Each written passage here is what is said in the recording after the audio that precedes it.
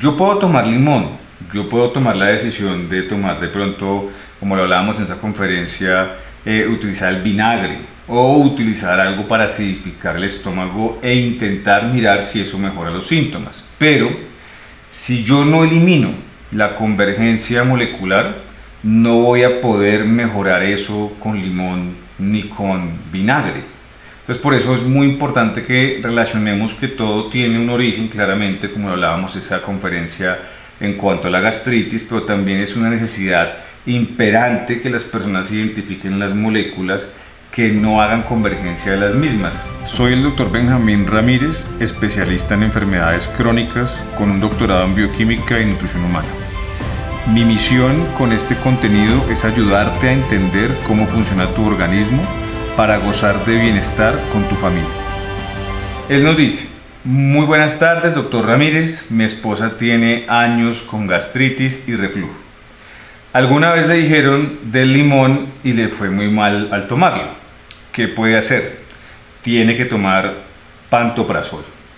Bueno, Gustavo, eh, nosotros en las conferencias contra las enfermedades hemos insistido en un tema muy importante y es que tenemos que tratar las condiciones desde el origen y no simplemente desde los síntomas. Entonces, cuando hablábamos, por ejemplo, en la conferencia número 19 y hablábamos eh, en relación a el tema del limón o de los ácidos para la gastritis, lo estábamos haciendo identificando que muchas personas, a pesar de tener ese tipo de enfermedad, como lo es la gastritis, generalmente es por deficiencia de ácidos, casi que el 90%.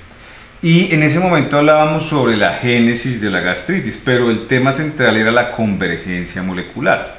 Y es lo que queremos que ustedes entiendan con estas conferencias contra las enfermedades. Cerca del 90% de las enfermedades que hoy en día se tratan en un consultorio de medicina especializada, de medicina general, de medicina familiar, se pueden abordar desde evitar la convergencia molecular.